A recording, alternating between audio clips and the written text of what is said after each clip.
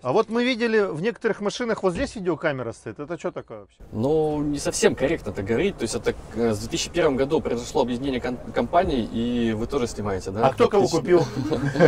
То есть там стоит какой-то электромагнитный клапан, который воздух, да, пускает э, в энергоаккумулятор, выпускает. Прикольно. Так, А чем, чем он удобнее от обычного ручника, скажем так? Здесь получается движок, который в принципе выдает 520, да? А сложно перепрошить вообще? И надо это? Если они, они вот сами говорят, что двигатель один и тот же, да? То есть просто прошивка разная.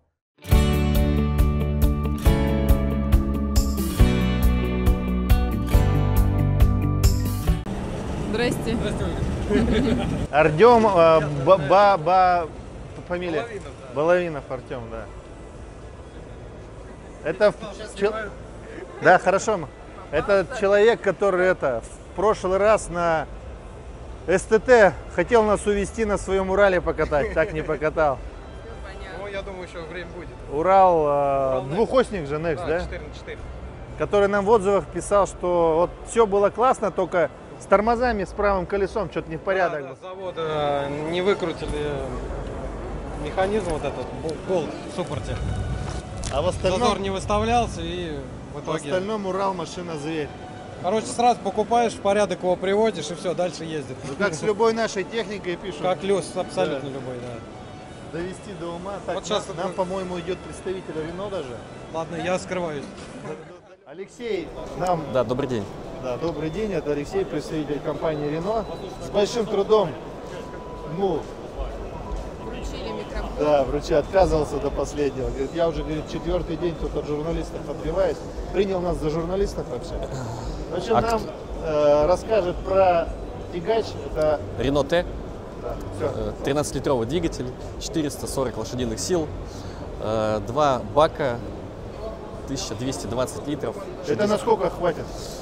Э, Это намного хватит. Это, наверное, до Владивостока хватит доехать. Ну, э, расход топлива очень условная единица, да, то есть Ну тут да. очень много зависит от э, водителя, от условий эксплуатации, от э, того, какой груз вы возите, с каким прицепом и так далее. То есть, ну, некорректно будет говорить по расходу топлива, соответственно, дальности пробега с э, таким запасом топлива. Ну понятно, груженный, значит, будет Да, один расход совершенно пустой, верно. другой Да, расход. все верно. Э, так, что у нас еще? Значит, э, средневысокая кабина, э, дв- две спальные полки, климат-контроль, холодильник, ну, то есть все, что необходимо водителю для комфортного эксплуатации автомобиля комфортно. Алексей, расскажите, сейчас модно на всех там всякие системы слежения там за дорогой. Да, у нас стоит система OptiFleet. А, вы имеете в виду для водителя? М, Нет, именно на этой комплектации этого нет. Э, У нас есть машина флагманская, где как раз э, А может тогда в кабину залезть, конечно. расскажете? А вот мы видели в некоторых машинах вот здесь видеокамера стоит. Это что такое вообще? Это, я предполагаю, что это система, которая отслеживает водителя, насколько он устал, и если он перестает подавать э, какие-то признаки жизни, то- жизни машину вырубает, то машина, ну, как правило, это как-то тряска начинается, чтобы водителя привести в чувство, либо там, может быть, Или она на автопилоте в парк возвращается. Да, да, да, глухнет и подает кофе. Алексей, а вот здесь иногда камера стоит, это вот как раз которая за дорогой да, это как раз датчик э, контроля движения по полосам О, и активный круиз-контроль. Э, И надо дверь открыть, да? Нет, нет, здесь есть А, во, включение, да. во, вот вообще супер. Она вроде сделана на базе Volvo, да, если ошибаюсь? Ну, не совсем корректно это говорить. То есть это э, в 2001 году произошло объединение компаний, и вы тоже снимаете, да? А кто кого купил? В 2001 году э, Volvo приобрела концерн Renault. Э, Volvo. В то время, да, было отсоединено легковое подразделение Volvo, вот, и приобретен концерн Renault, грузовой. Ну, соответственно, раз приобрели, было бы глупо не использовать узлы агрегаты какие-то, Совершенно да? верно, совершенно верно. Многие вещи, скажем так, унифицированы э, для простоты эксплуатации. Ну да, и удешевление, и как бы ремонтопригодности проще. Да. Вот. Интересный дизайн у Рено, он немножко отличается от всех остальных машин, то есть у него такой а, сохранился а, угловатый немножко дизайн. То есть Французский. это французский, да? То Ну, есть мы это, наверное, см- предполагаем. от Citroёn еще пошло, да? То есть как бы М, вот, вы- Вот не могу сказать по поводу Citroёn, но я думаю, что да, чем-то отличается машина от всех. Вот. Э, На самом деле, с точки зрения функционала и удобства э, водителей, как правило, все водители, которые начали эксплуатировать, довольны эргономикой, качеством материалов, диваном, скажем так. Вот тут Здесь- смотрю, небольшой туннель есть, да, Да, получается, это над значит э, порядка 20 сантиметров высота туннеля, э, высота от туннеля до потолка 185 сантиметров. Ну, Плюс э, ну, небольшой еще выемка под э, люк, скажем так, да, э, вполне комфортно при росте даже 185 головой не достаете до потолка. Вот в соседней машине в красной мы сели, там этого туннеля, Туннеля не было. нет, То да, есть там, там, высота 205 сантиметров. там выше получается? 205 сантиметров.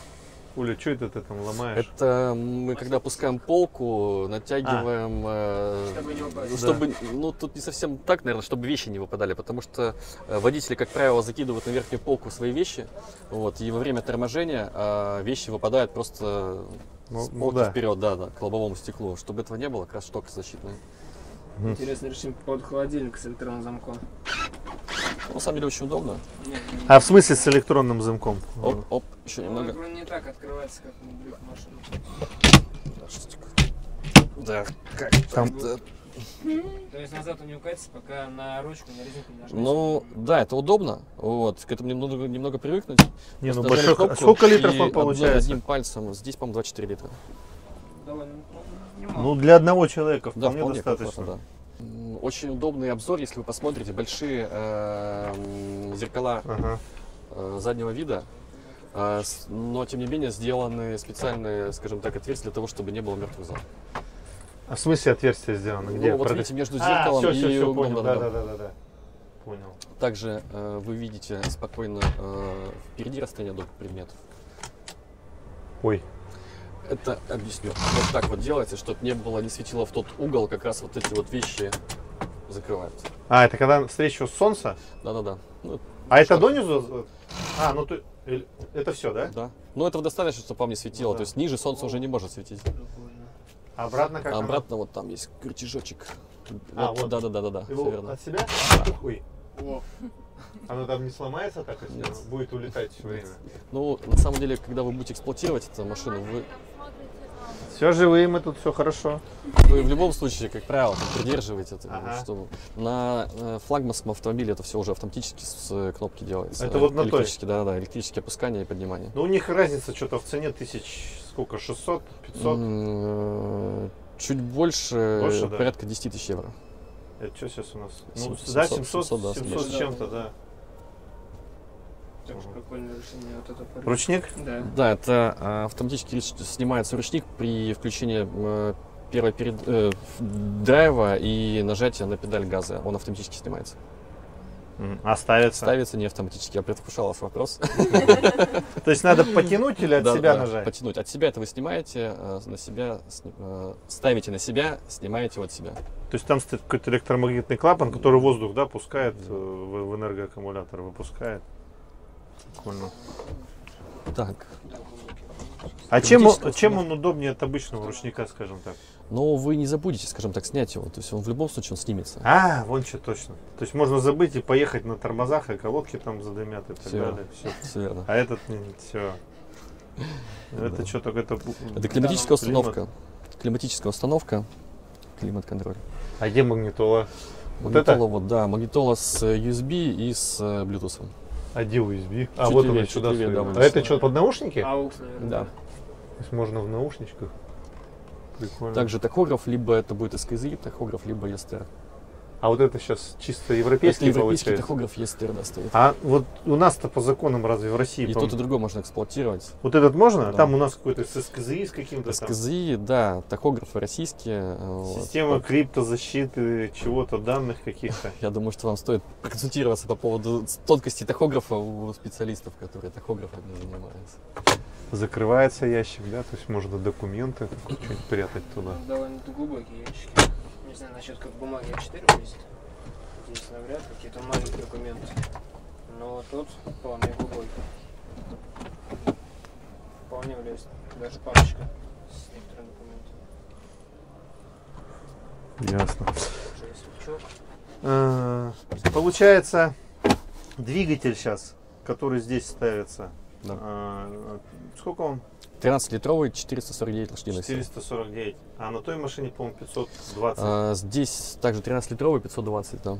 А, ну то есть движок один и тот, железо Да. одно и то же, Да. прошивки Да, разные, да, очевидно. всё верно. А как он называется, этот двигатель? DXI 13. DXI 13, 13 литров. Да. А ну, поскольку сейчас с Volvo получается один концерн, он где-то там используется тоже на машинах. Такой же двигатель, по сути, стоит на наших, э, у наших коллег. То есть, а тогда дальше, то есть по двигателю поняли, разъяснили, а по, транс- ну, по коробке Трансмиссия OptiDrive э, аналогична iShift у наших коллег. То есть там тоже, да? Все, понял. Ребят, извините. Все, но огромное спасибо. А, мы сейчас вашему коллеге передадим, он нам про совок расскажет. Про тот Отлично. красивый черный. Вы Так, не это- ответили, где мы сможем вас посмотреть, А, я вам если сейчас дам. не секретные. Да да. не, не, не. Константин Про в Ютубе. Я понял. Первый Мы- раз у нас не. Давайте. Сейчас. Что реквизит? Реквизит сдавайте. Какой А, черт Да. побери, чуть не ушел, давайте. Декорации снимаем. Клиенты из Архан- клиенты из да? Клиенты из Архангельска спасли. Алексей. Обдув такой же, как во всех Renault. Ну да. Как у нас сейчас на Ларгусе. Ну, Ларгус, да, Сандеро. А вы, вы с КамАЗа, я смотрю, шпионите.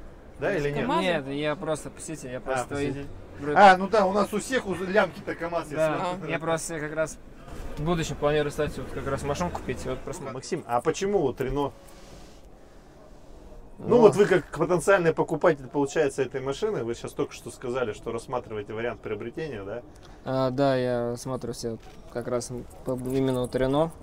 Довольно давно смотрел обзоры. Мне понравился, во-первых, дизайн очень классно вышел. Он, Вот- конечно, вот больше вот это. похож, да, он, конечно, больше похож на Volvo, но все-таки у них есть отличия. Во-первых, сама оптика, она отличается. Оптика наружная имеется в виду? Да, наружная оптика, она Ну, отличается, довольно интересная. Кроме внешнего вида, она светит по-другому лучше? Или... Да, она светит лучше по-другому и довольно интереснее, Ага. забавнее. Вот, во-вторых, как бы получается за, менее, за меньше деньги получается то же самое Volvo. То есть покупаешь Volvo, да? Да. А насколько разница? Я думаю, где-то приблизительно в полтора-два лимона, где-то так. Ну вот это 5800 машина стоит. Это на роботе. Там она в районе семерки. Семерки, Если да? ошиб- Да, я То есть- спрашивал в районе семерки. Это даже с э, двигателем 460 лошадиных сил. Мгм. Здесь получается движок, который в принципе выдает 520, да? А сложно перепрошить вообще? И надо это? Если они, они вот сами говорят, что двигатель один и тот же, да? То есть просто прошивка разная. Конечно, можно перепрошить, но я думаю, лучше не надо. В принципе, и того, то, что здесь есть, Достаточно. давно, давно более хватает. И, во-вторых, тем, чем больше э, лошадей им будут употреблять, тем больше будет, естественно, расход топлива. И ресурс, наверное, меньше будет, да? А это сейчас в данный момент да, такое уже более важное стало. Ну а вот сколько у него ресурс вообще вот, вот у этого движка? Изучали ведь наверняка. Пока еще толком не успел. Но они миллионники все или они больше бегают? Не, они все миллионники. Сейчас скоро выйдем. Миллионники, да? Да. Мгм.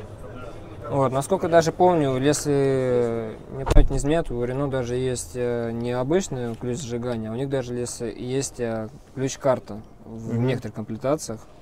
Ну, тоже, ну, довольно интересная фишка. Это, в первую очередь, если не ошибаюсь, появилась еще в Мерседесе Actros. Вот, у них первый, насколько помню, появился ключ-карта.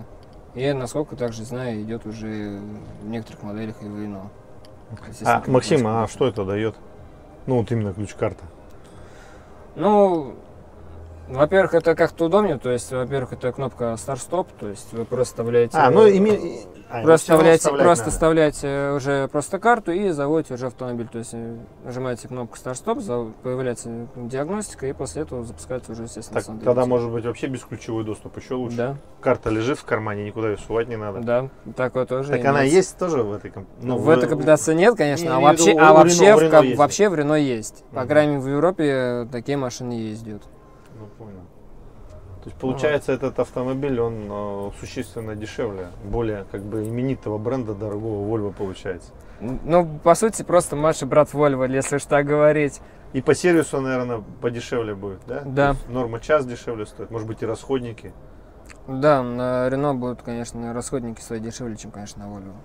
Потому что все-таки Volvo это, как считается, флагман. А, А у вас сейчас уже есть какая-то машина? Работаете ну, на перевозках? Сейчас еще пока нет. Я вообще планирую как бы сначала DAF взять, но потом все-таки решил на Рено А, перейти. да, Я- думал сначала. Сначала думал DAF, потому что DAF тоже довольно неплохие автомобили, особенно DAF 105, и вот который последний вышли Евро 5.